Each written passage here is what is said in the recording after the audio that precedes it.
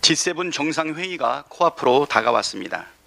윤석열 대통령이 이번에는 무엇을 퍼줄지 걱정입니다만 두 가지는 절대 약속하지 말아야 합니다. 첫째, 다른 국가의 분쟁에 개입하는 우를 범하지 말아야 합니다.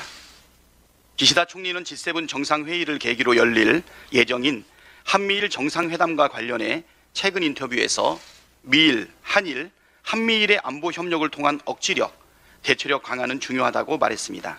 그러면서 힘에 의한 일방적 현상 변경을 허용하지 않는다는 메시지를 국제사회에 알리고 싶다고 말했습니다. 한미일 정상회담에서 러시아 우크라이나 전쟁에 대한 지원 논의와 중국 대만 분쟁과 관련한 논의가 이루어질 것임을 시사한 것입니다. 우리나라 입장에서 러시아와 중국은 경제적으로 매우 중요한 국가입니다. 섣불리 군사무기 지원 같은 약속을 해버린다면 원치 않는 분쟁에 휘말리게 되고 경제적으로도 막대한 피해를 입게 될 것입니다. 지금은 전쟁 중에도 무역을 확대하며 실리를 추구하는 유럽 국가의 사례를 살펴 대한민국의 국익을 도모해야 할 때이지 무작정 타국의 분쟁에 분별 없이 총알바지 마냥 끼어들 때가 아니라는 점을 명심하기 바랍니다. 둘째, 후쿠시마 원전 오염수 방류를 인정하는 신호를 결코 보내서는 안 됩니다. 후쿠시마 원전 오염수 방류에 대해서는 우리 국민의 반대도 높지만 절반이 넘는 일본 국민도 반대하고 있습니다. 원전 오염수 방류에 대해 가장 격렬하게 반대해야 할 국가가 바로 인적 국가인 대한민국입니다. 정상적인 대통령이라면 일본 정부에 절대 원전 오염수 방류를 해서는 안 된다는 점을 분명하게 밝혀야 마땅합니다.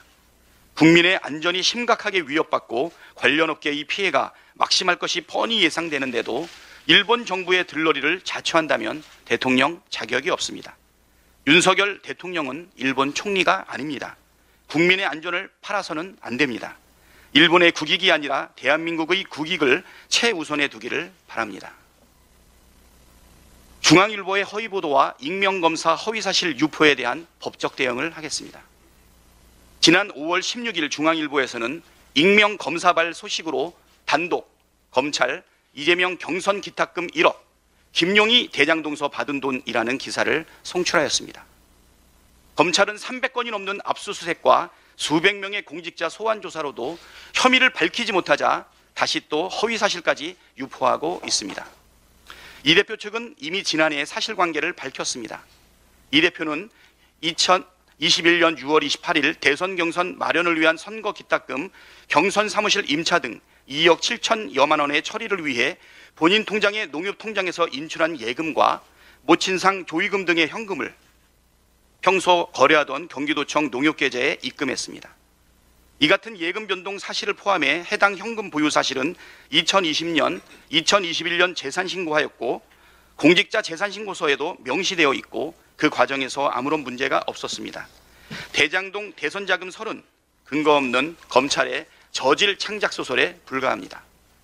중앙일보는 지난 2022년 11월 1일에도 익명 검사발 대장동 428억 약정설을 최초 보도했으나 검찰은 이재명 대표를 428억 약정설로 기소조차 못하였습니다.